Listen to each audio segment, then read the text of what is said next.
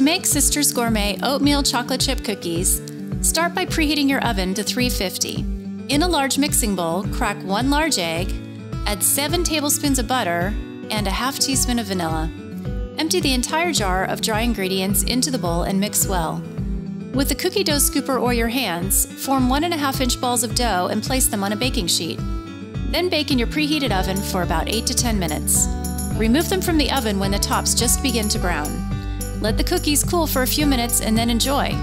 Sisters Gourmet, we make it easy for you to make it homemade. Subscribe to our channel for more product information and baking tips.